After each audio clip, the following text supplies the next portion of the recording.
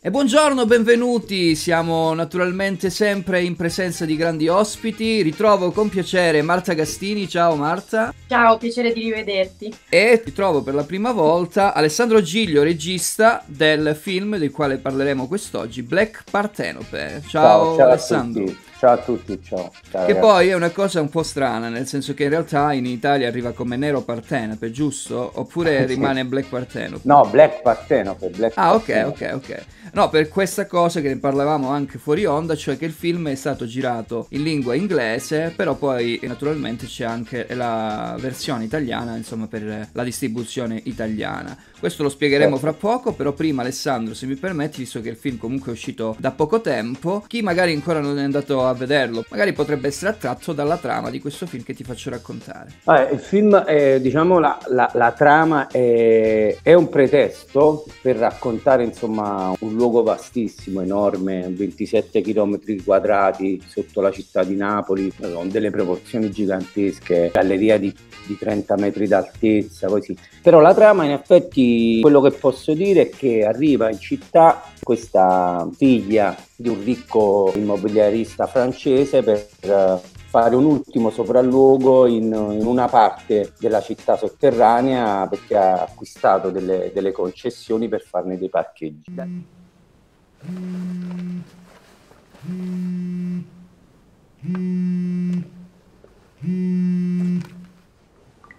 Oui, allô T'es prêt pour demain Évidemment, tu me connais.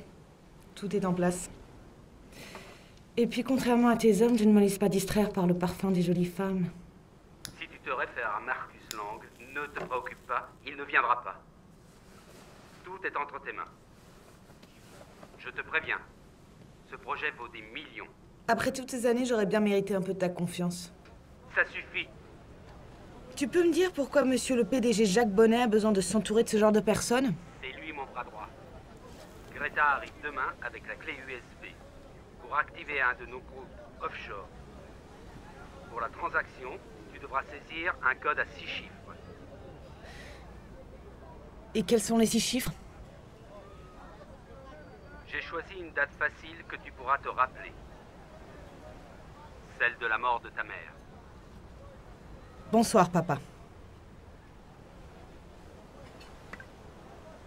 Da lì accompagnato dal suo assistente, poi dall'assistente del padre che è Marta, il personaggio di Marta, insieme al, a un preposto del comune, un, uno che viaggia, che si muove anche nella politica, che è Nicola Nocella, il geometra, incontrano Antonio che è l'erede di queste concessioni, che è Gianluca Di Gennaro, e ad aspettarli, diciamo, c'è il custode, questa guida che ha vissuto, ha dedicato tutta la sua vita a, a preservare, a raccontare questi luoghi, che Gennaro, interpretato da Giovanni il grandissimo Giovanni Esposito. No, è vero, è vero. Tra l'altro, e poi in una versione mai anche vista. l'assistente di, di, della, della, protagonista che è Jenna Tiam, che è Mazar Firusi, che interpreta Yanis. E ci sono tutti questi personaggi che si ritrovano, diciamo, in questo luogo, e poi quello che sì. succede lo vedrete al cinema, naturalmente. Assolutamente.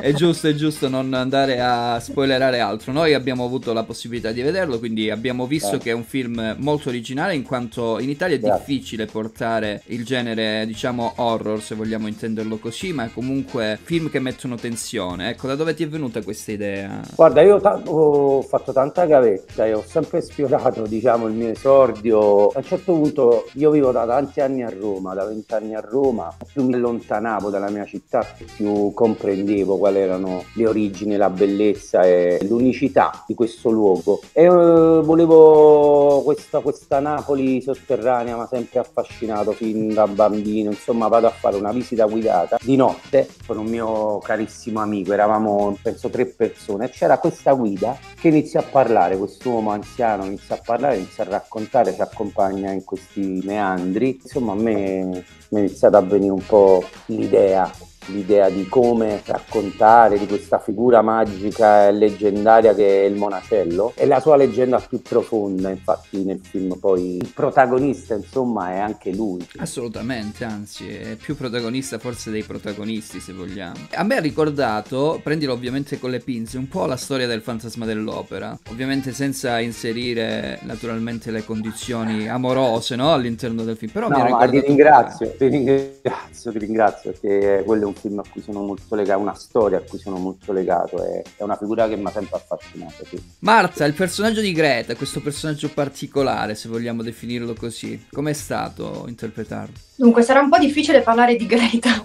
perché bisogna ovviamente non spoilerare nulla sulla, sulla, trama, sulle relazioni fra i personaggi, però è stato molto divertente, un po' perché a me piace interpretare personaggi che si inseriscono in un genere, no? Essendo questo un film di genere, sapevo che mi sarei divertita molto. Quando Alessandro infatti mi ha, mi ha contattata proponendomi insomma, di, di partecipare sono stata felice anche perché ho trovato un film beh, con una trama mozzafiato e poi che racconta Napoli anche in maniera completamente diversa rispetto a, quello che è il racconto di Napoli che si fa più spesso, come dire. Quindi questo già mi aveva attratto moltissimo. E poi il personaggio di Greta che è insomma questa donna in carriera, si capisce da subito che fra le due protagoniste non c'è un'amicizia tenera, questo è abbastanza evidente dall'inizio, e, e questa Greta è, è, una che sta un po' sulle sue, un pochino snob, un pochino rigida, ecco quindi come dire ho, ho cercato di, di, lavorare su questi aspetti che in parte da da piemontese appartengono un pochino anche a me e, e quindi ho, ho, cercato di lavorare su questo, ecco, però lavorare su questo film è stato bellissimo, devo ammettere assai stancante, perché chiaramente la Napoli sotterranea che è un luogo veramente magico, però è un luogo che ti mette alla prova, soprattutto quando devi correre eh parecchio. Eh a un certo punto sembrava un film di Tom Cruise, correvano abbastanza. sì.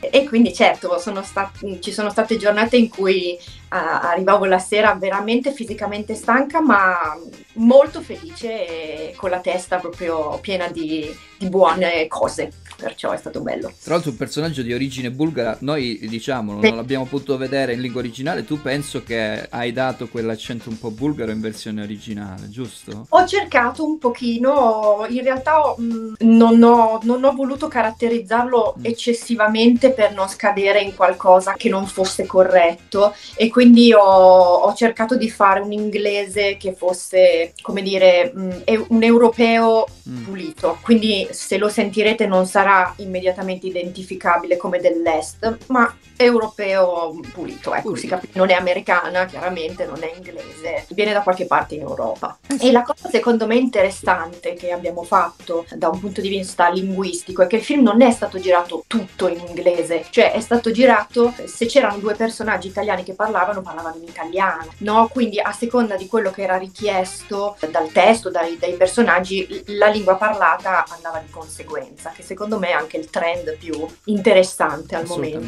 Alessandro, questa scelta tra l'altro di questi attori stranieri, io ho letto che la produzione sia italiana ovviamente ma anche spagnola, però loro addirittura sono francesi. Come mai questa scelta? Beh, la storia, ehm, ripeto, io ho cercato, ho cercato quasi a tavolino di, di concepire una storia che potesse essere quanto italiana, di identità napoletana, identità italiana, perché io penso che noi dobbiamo fare dei film della nostra identità però con dei codici che riescono ad arrivare quante più persone possibili. Quindi a un certo punto veniva fuori la storia e la scelta poi dell'inglese era d'obbligo. Arrivava questa persona straniera, cioè in Italia ha a che fare con degli italiani, qual è la lingua più giusta? Certo. Era una situazione d'affari e quindi si, si parla in inglese con i, con i rispettivi accenti, come certo. diceva poi Marti. Ti ripeto, la scelta poi di questa, di questa roba qua perché vorrei che questo luogo arrivasse quante più persone possibile, infatti ci sono de- de- delle cose in ballo con uh, interessa molto all'estero perché è un posto pazzesco. No, ma poi essendo film di genere aiuta, no? Pure è un film di genere, diciamo io, almeno a me piace definirlo un mystery che fa anche mm. delle incursioni in altri generi, come con l'horror nel senso più puro della parola e via dicendo. No? Sì, non c'è eh... un estremo dell'horror in questo caso. Sì, no, non c'è, non c'è. È un film che ha delle tensioni che vanno anche in altri generi. Ma le difficoltà nel girare laggiù? Io lo chiedo a tutti e due perché credo che ce ne siano state tantissime, no? Penso soprattutto per Trupp. Guarda, io è un film che non dico quanti anni ci abbiamo messo a metterlo in piedi, anche perché è un film indipendente. È un film che, diciamo, nessuno voleva fare per le difficoltà. Considera che tu tra nell'arco di 20 metri le radio non funzionano perché sono, ci sono delle mura spessissime da, da 5 metri, 6 metri. Ma la cosa più sorprendente di tutti è questo luogo è stato costruito in, nell'arco di 3000 anni, quindi si è ampliato e tutto questo a mano, Mamma scavato mia. a mano. È un'opera pazzesca di, di, di, di, veramente di... Infatti quello che per me è già una grandissima vittoria essere riuscito a fare un film del genere in quel posto che ti ripeto è, noi ci mettevamo, arrivavamo, scendevamo in uno dei siti per arrivare poi a, all'ambiente dove girare ci mettevi pure un quarto d'ora. Eh, perché ci si perde alla fine all'interno di quel posto. Tutto questo con un, con un uh, avendo un tempo strettissimo, un budget ridotto ed era quello e non si poteva, io non potevo permettermi di, infatti ringrazio, ora c'è Marta davanti, la ringrazio ma perché a un certo punto anzi subito siamo diventati una macchina perfetta con le difficoltà del caso, però tutti tutti viaggiavamo nella stessa direzione, troupe, cast, tutti, tutti. Ah, deve essere stato anche un po' claustrofobico se vuoi, perché ci sono delle scene dove veramente sì. gli spazi sono ridottissimi. Infatti, io non so sì. come avete fatto a fare le riprese là interno. Comunque, sì, il lavoro è uscito molto, molto bene. Quindi, io mi auguro Grazie. che venga apprezzato anche dal pubblico questo sforzo no? che avete avuto all'interno di questi luoghi. Che poi, tra l'altro, penso che siano sempre i sotterranei. Tutte le scene sono girate nei sotterranei. Non, c'è niente, non c'è, niente, di ricostruito. Eh no, sono, sono, tutte scenografie insomma esistenti ed era anche quella la, la voglia di voler raccontare un luogo che esiste. Che magari esiste. non è così conosciuto perché magari uno quando va a Napoli non si fa subito l'idea di andare giù ai sotterranei. Invece ci sono vari posti, tanti altri purtroppo, le associazioni, tutto, questi luoghi sono tutti gestiti e, ma, e sono stati riscoperti dalle associazioni che se ne occupano perché devi sapere una cosa, questo io ci tengo a dirlo per, anche per premiare queste persone. Dopo la seconda guerra mondiale tutti i materiali di risulta tutte, sono stati buttati in questi sotterranei. Loro sbancano, scavano a mano per ri, ri, riprendere, rifar rivedere questi luoghi materiali che hanno un'altezza di 5-6 metri, riportano via a mano con dei sacchetti tutti, tutti, i ragazzi che vanno là nel loro tempo libero. Ed è una cosa pazzesca dove non voglio fare una critica, una cosa, però è vero, infatti c'è una figura del geometra che un po' incarna un po' purtroppo una politica che a volte è, è molto cieca su delle cose, sì. su, su, un patrimonio che è spaventoso. Però al di là di questo voglio parlare del film, però mi viene perché io sono uno che molto appassionato. Eh, ma oggi come oggi, purtroppo, la politica in un certo senso, vuoi o non vuoi, entra sempre all'interno delle dinamiche cinematografiche, anche per quello che è la distribuzione dei vari cinema in, gi- in giro per l'Italia, la distribuzione in sé per sé proprio. Purtroppo c'entra, perché se tu vai magari in Francia, in Spagna, hanno un modo diverso di intendere il cinema. E là infatti sì, sì. non si sta perdendo più di tanto, invece qua pare che... Sì, vabbè, no, qui c'è un... per fortuna il ministro è attento su questa roba, Franceschini, che stanno combattendo per tenere i film quanto più tempo in sala, mm, perché il problema sì. è, è, lo stacco tra la sala, cioè il tempo tra la sala e la, la piattaforma. piattaforma. E la piattaforma, per questo in Francia e Spagna hanno una grossa tenuta i film. Sì, sì, sì. sì.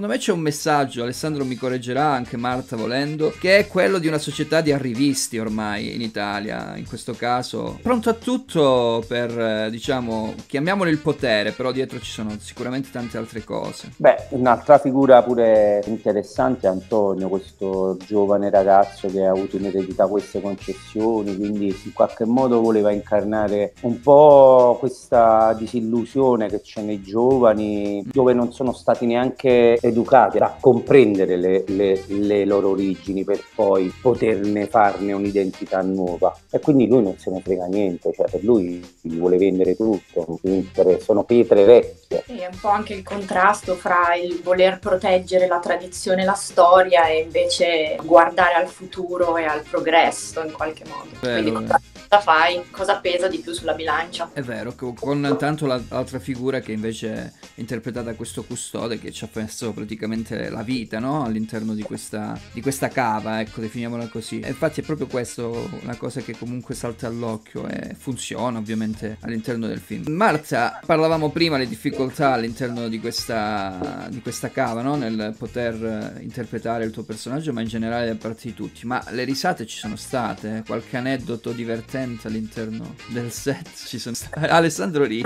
Moltissime, moltissime. Anche perché con Nicola Nocella eh.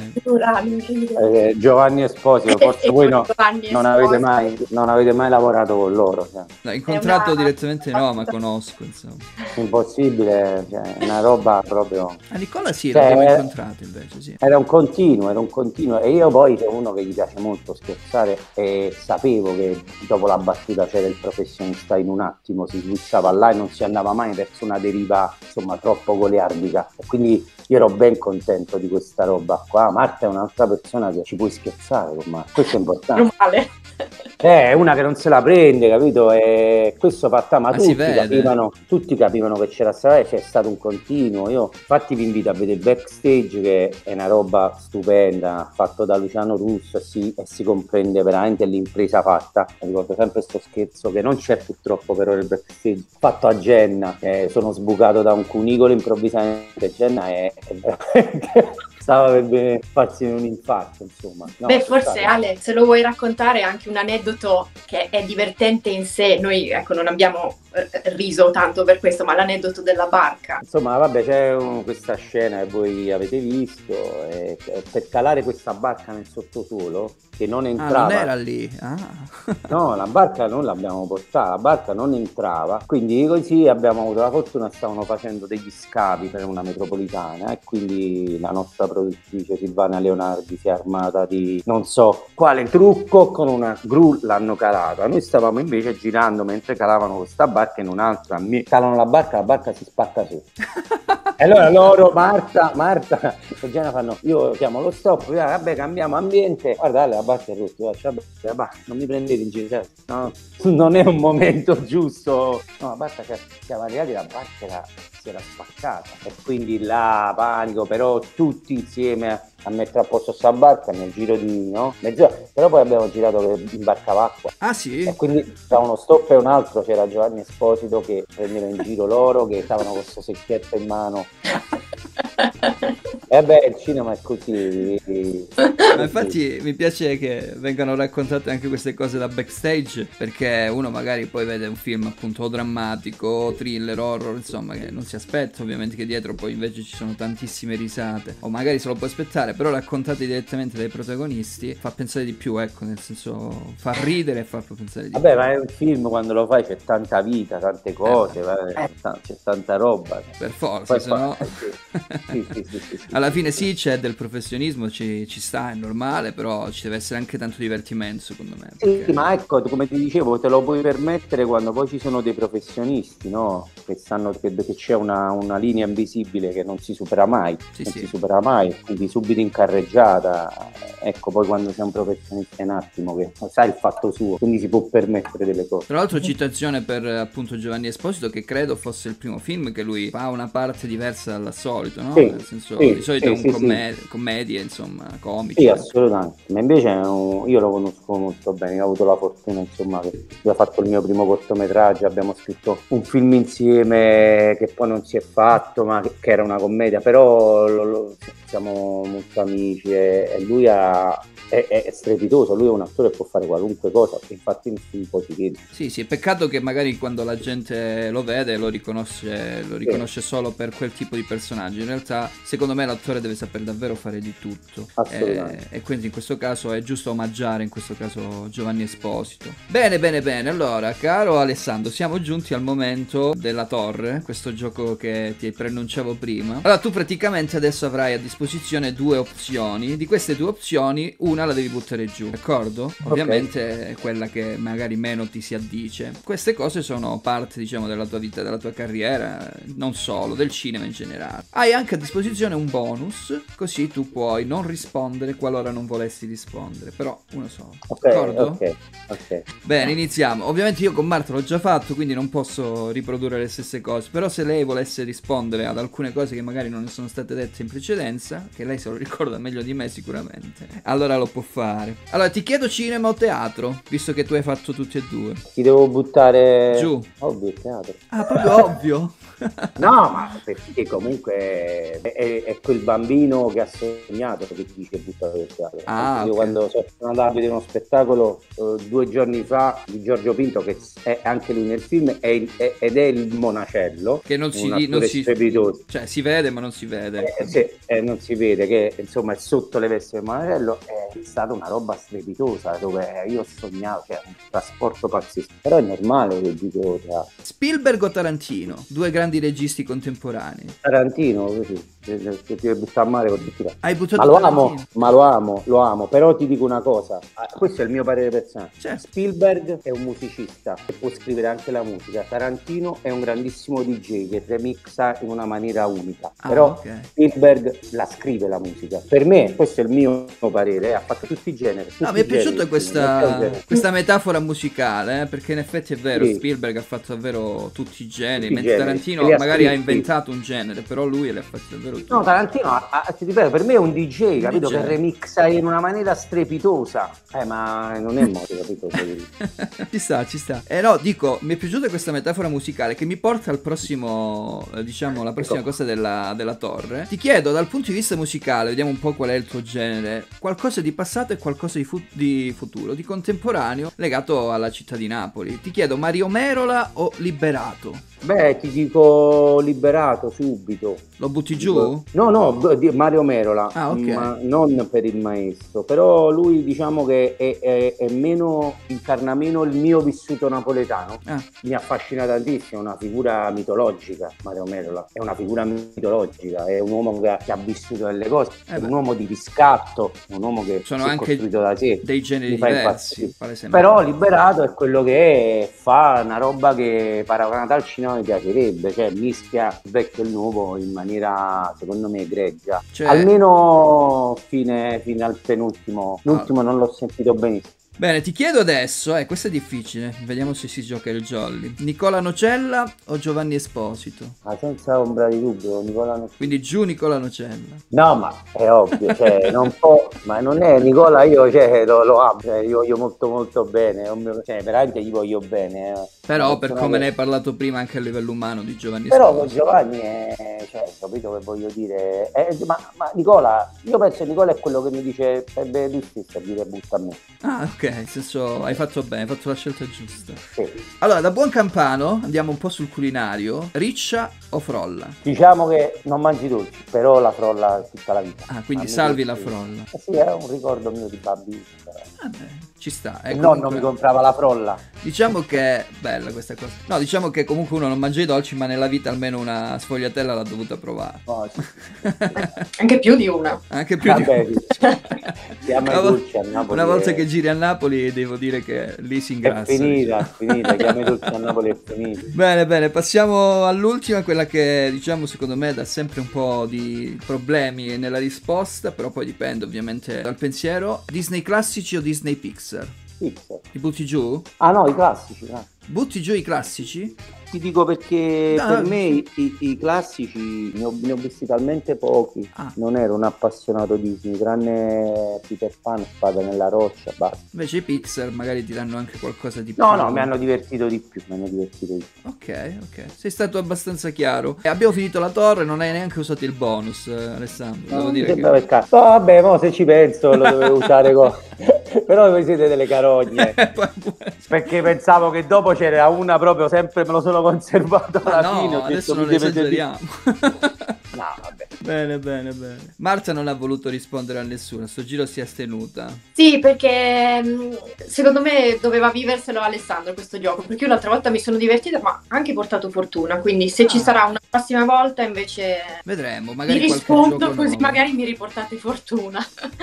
Magari, magari, questa è una cosa bella che ci dici. Bene, bene, allora siamo praticamente quasi alla conclusione. Io ovviamente, come al solito, vi ringrazio di essere stati qui con Grazie a noi. voi. Vi A voi. chiedo ovviamente se ci sono delle cose nuove, dei progetti nuovi che sono arrivati, che stanno arrivando. L'altra volta Marta credo abbia anche citato Black Parteno perché sarebbe uscito, Sì. insomma. E adesso invece vediamo se c'è qualcosina in più. Dunque, sì, se ne parlerà fra un pochino ed è un progetto di teatro. Ah. Allora abbiamo portato fortuna per questo, mi sa. Sì, perché vi avevo detto che mi sarebbe piaciuto perché a questo punto del mio percorso lo ritenevo importante ed è arrivato, perciò bene. Bello. Bene. Bello. Girerai? Girerai un po' tour? Girerò un po' e se vi farà piacere ovviamente poi vi darò dettagli, per ora Come no? a- attendo di averli io, quindi poi, poi vi dirò. Siamo sempre in contatto con Marta, quindi ti aspettiamo anche giù in Calabria, eh, mi raccomando. Volentieri. Alessandro, invece tu? Hai già scritto qualcosa di nuovo? Sì, ho scritto insieme a Giovanni Mazzitelli e Mara Fondacaro, abbiamo scritto una trilogia, eh, spero presto di poterla annunciare, è un personaggio che attraversa tre storie, è un supernatural questa volta però molto più drammatico, dove rispetto a Black Parteno c'è una profondità maggiore, c'è una voglia di esplorare molto molto di più eh, dei traumi della psiche, insomma, che poi diventano una rappresentazione diciamo supernatural, soprannaturale, sempre parte da questa campagna indefinita per arrivare su in Alta Italia e poi muoversi liberamente. Bene, bene. E allora a questo punto io di nuovo vi ringrazio. Salutiamo naturalmente sia Marta, ciao Marta, Ciao, grazie mille. e sia naturalmente il nostro regista Alessandro G. Ciao grazie Alessandro. mille ragazzi, grazie mille. Alla prossima, scendi anche tu in Calabria che ti aspettiamo. Assolutamente, mia suocera è calabrese. Ah, vedi? Quindi c'è la Anche, possibilità. anche il suocero, vedi? Vedi? Allora andiamo insieme. Forza, eh, noi vi aspettiamo sempre. Bene, bene, ciao, grazie.